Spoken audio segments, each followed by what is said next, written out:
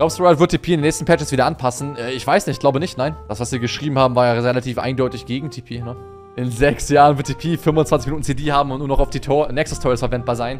Das wäre ein guter, balancierter Change, actually. Würde ich fühlen, Mate, würde ich fühlen. Warum darf Jungle eigentlich seit Jahren so broken sein und andere Lanes werden dadurch dann zerstört? Äh, das ist nicht true, ne? Jungle ist sehr, sehr, sehr, sehr, sehr, sehr insane OP in High Elo, aber nicht in Low Elo. Es ist auch wirklich, man muss dann Routes Balancing Team ja auch wirklich Komplimente aussprechen. Sie haben League of Legends sehr, sehr insane gut gebalanced für so viele Jahre dafür, wie schwer es ist, das Game zu balancen. Riot Games hat halt einfach gesehen, dass keiner Jungle will in Lower Elo, weil die Rolle anspruchsvoller ist, als Minions zu farmen. Und dann auch alle Leute dich immer flamen. Und deswegen haben sie der Jungle einfach sehr, sehr viel gewafft. Wenn man sich zurückerinnert, so, also ich weiß noch, es gab Zeiten, da hatten Lee Sin gestruggelt, den, den Blue Buff zu machen im Full Clear. Heutzutage pullt jeder Jungler den Gromp mit Blue Buff zusammen, damit er schneller cleart und sich dabei noch hochhielt. Das war früher nicht der Fall. Gegner sind full on it, aber haben sehr viel magischen Schaden trotzdem mit Kaiser on it und Corki on it. Dann ist sehr, sehr gut auf Yon und sehr, sehr gut auf Ikarim. Und da könnte es ein nices Game für mich werden.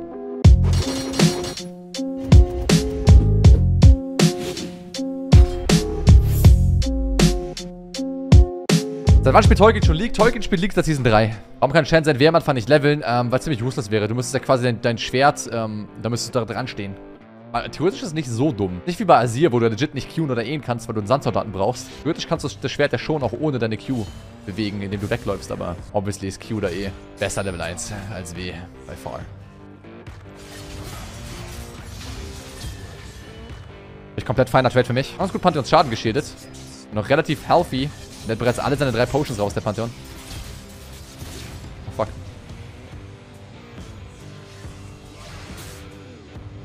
Ja, jetzt bin ich nicht mehr relativ healthy. I mean, das ist so Glyph. Hier können wir einfach nur hochlaufen, wir töten den.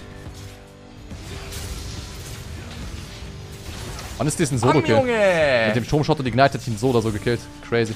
Was ist jetzt der beste Call hier? Einfach gemeinsam pushen? Ich glaube, das ist eigentlich ganz nice für ihn und für mich, wenn wir XP scheren. Und ich dadurch die Wave rausgepusht bekomme. Dann kriegt auch die Krabbe oben drauf. Paladin ist jetzt vorne mit, einer XP, weil er mehr, mehr Solo-Minutes bekommt als ich natürlich. Aber ist, glaube ich, mir relativ egal. Wenn ich einen starken Jungler habe, der ist ja eh mein Main-Champion, auf den ich raufholen will, proaktiver Natur. Er ist Level 5, der Hegrem, der ist so insane. Like der Top-Wave. Ich noch besser gewesen, wenn er den Kill bekommen hätte, aber trotzdem super. Unser Bot-Lane Meanwhile steht 0-3. Als Botlane müssen wir ihn irgendwie wieder ausgleichen, aber Level 6 Hecarim Gang mit Channel oben drauf, wir können, Bot, wir können Botlane theoretisch überfahren. Also da ist schon noch eine Menge Playmaking möglich. Der Traum wäre es halt eigentlich Level 6 zu werden. Oh, ich bin, I guess that. Ne, ich bin fein. Für dich. Bucht nach vorn. An irgendeinem Punkt kann ich es halt easy durchführen. Ja, Pike kann mich nicht töten. Der müsste mich igniten und der hat keine Ult. Also, Pike ist hier, aber ich kann einfach resetten. Ja, hier sollte das Game carryen können. Honestly. Hat er keine Ult für Botlane.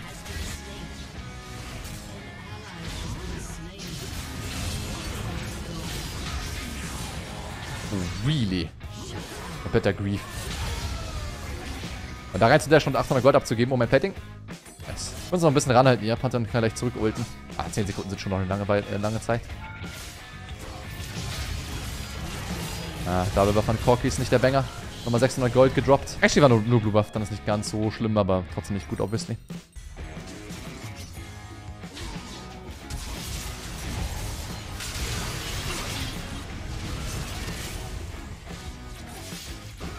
What? Er ist so schnell. Er ist raus, oder? Er ist raus. Hoffe gerade in Corky rein. Fuck, man. Wenn ich gecued hätte und dann eh flashe, dass ich knapp an ihn rankomme, dann kann ich danach ähm, ihn slow mit dem Auto-Attack. Ich hatte locker Zeit dafür. Ich habe ja Extended Optic Reichweite. Also sonst rennt er einfach weg mit Time Op Tonic. Er hatte 409 Movement Speed von seiner Rune. Pattern hat auch den höchsten Base Movement Speed in League of Legends. Gemeinsam mit Master Yi, glaube ich, war's.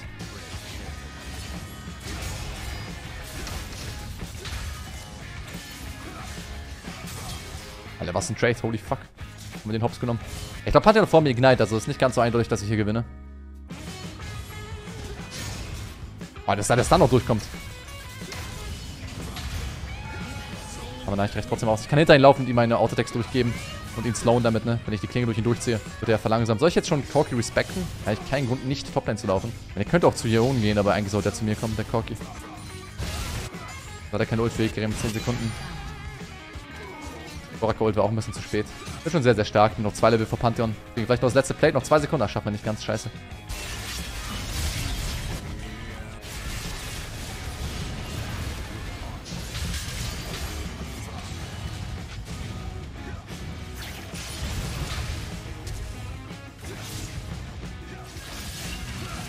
Bin der Sope.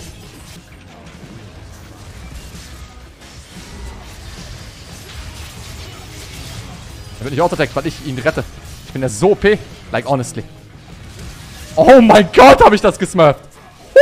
Ja, Shen ist halt eine nice Alternative zwischen, du hast eine starke Laning Phase und bist trotzdem auch mit der Map auf Impact dabei. Aber natürlich wird er sehr outscaled von Bruisern im 1v1. Oh.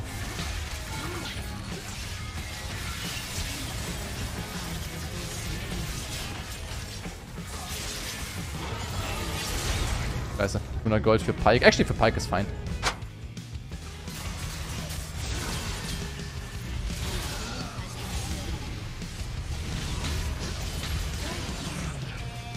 I'll take it. Ja, aber die Art und Weise, League of Legends zu spielen, ist halt einfach cooler, als einfach AFK zu, zu farmen und sich selbst hochzustacken. Einfach cooler, an einem Team-Game, am Team teilzunehmen. Weißt du, was ich meine? Oh mein Gott. Wenn er da Triumph durchbekommen hätte, hätte er sogar gewonnen. Wenn er jetzt halt Loki Running It Down mit einem großen Lead, ist schon nicht so geil, wie viel Shutdowns wir droppen, aber es sieht lustig aus. Ah, ich sollte schon ranmünzen, dann irgendwoher Magic Resist kaufen. Aber Anti-Onit ist halt super OP gegen 5 Onit-Champions. Und jeder einzelne Champion im Gegner-Team ist Onit. Aber dann Gargoyles ist halt vielleicht ein bisschen, bisschen Overkill an Magic Resist. Zum Mask ist keiner bad, das sind nur 30 MR. Force of Nature wurde ziemlich hart gebufft, diesen Patch.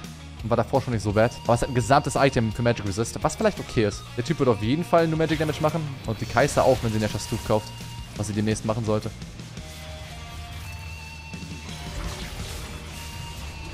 Ein bisschen auf Package achten hier.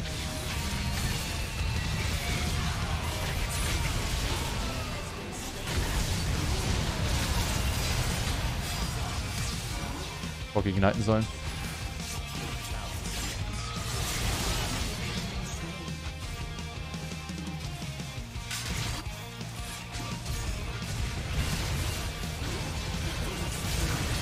Und ist Dubstep Ignite an der Stelle.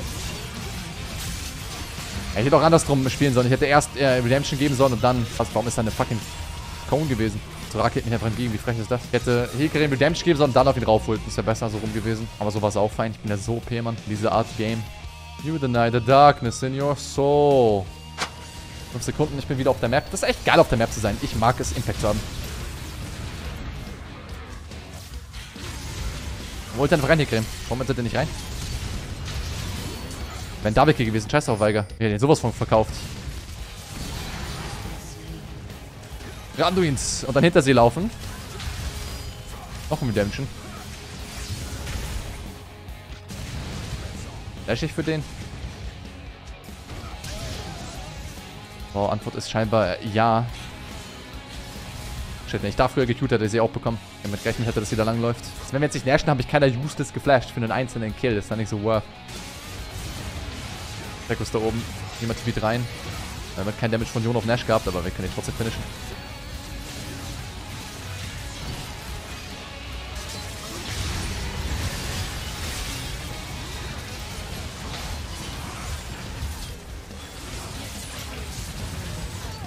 Ich denke, es ein Reset in TP-Angle, also Ult.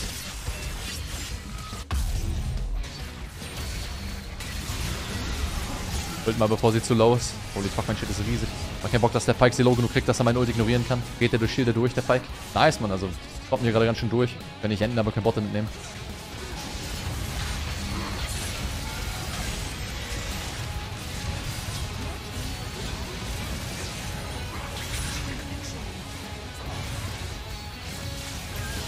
Nice. Warum nehme ich Damage? Warum habe ich den Turm-Agro bekommen? Ich brauche gar keine Bramble West oder so. Hä? Jetzt habe ich Tomago bekommen für Chat. Vielleicht war Shaco unsichtbar neben mir und hat Bami Cinder getankt. Die einzige Erklärung eigentlich. Shaco ist reingequeued und stand dann neben mir. Ja, GG. Wir haben Top den hart gestompt und vor allem Heger mit Szene gesetzt. Aber dann auch noch weiter die Map bespielen dürfen. Also die Sache mit Shen, er ist halt ein starker Laner und ein starker Impactor.